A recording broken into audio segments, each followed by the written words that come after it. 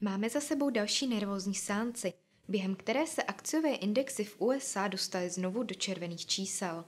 Ztráty sice nebyly nějak dramatické, indexy ale dál likvidují své zisky ze začátku minulého týdne, zatímco implikovaná volatilita zůstává i nadále na nepříjemně zvýšených úrovních. Tématem včerejší sánce byl hlavně Brexit, který výrazně rozvonil všechny librové páry. Za pozornost ale stál i komentář šéfa americké centrální banky, který trh připravuje na prosincové zvýšení sazeb, nebo zprávy o tom, že se Čína chystá nabídnout USA ústupky, které by mohly pomoci k dosažení dohody o vzájemném obchodu mezi oběma zeměmi.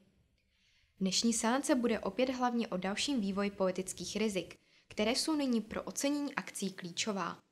Tématem bude především Brexit a Čína, ale například také dění na ropě. Té by v zastavení výprodejů mohly pomoci zprávy o tom, že by OPEC a některé nečlenské země mohly snížit denní produkci dokonce až o milion barelů.